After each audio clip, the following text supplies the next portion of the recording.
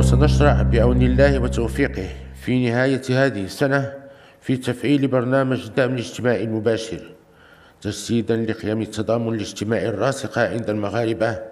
فقد قررنا أن لا يقتصر هذا البرنامج على التعويضات العائلية فقط بل حرصنا على أن يشمل أيضا بعض الفئات الاجتماعية التي تحتاج إلى المساعدة.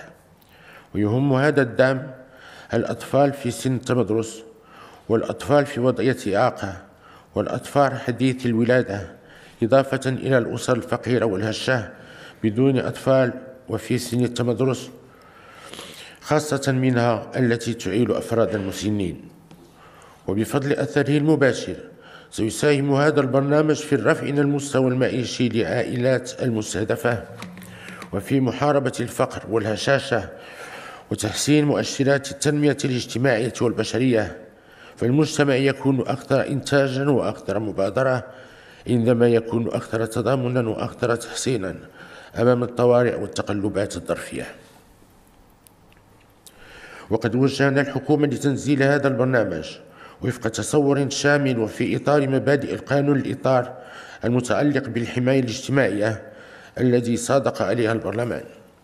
ويجب أن يتم تفعيله بطريقة تدريجية تراعي تطور الاعتمادات المالية المرصودة وتحدد المستوى الأمثل للتغطية ومبالغ التحويلات المالية وكيفية تدبيرها. كما ينبغي أن يشكل نموذجا ناجحا في تنزيل على أساس نظام الاستهداف الخاص بالسجل الاجتماعي الموحد وأن نستفيد من الفعالية التي توفرها التكنولوجيات الحديثة. وفي هذا الإطار نؤكد على ضرورة احترام مبادئ التضامن والشفافية والإنصاف ومنح الدعم لمن يستحقه وندعو الحكومة للعمل على إعطاء الأسبقية لأقننة ونجاعة برامج الدعم الاجتماعي الموجودة حاليا وتأمين استدامة وسائل التمويل. كما نؤكد أن على ضرورة اعتماد حكامة جيدة لهذا المشروع في كل أبعاده وأن يتم بعض آلية وآلية خاصة للتتبع والتقييم بما يضمن له أسباب التطور والتقويم المستمر.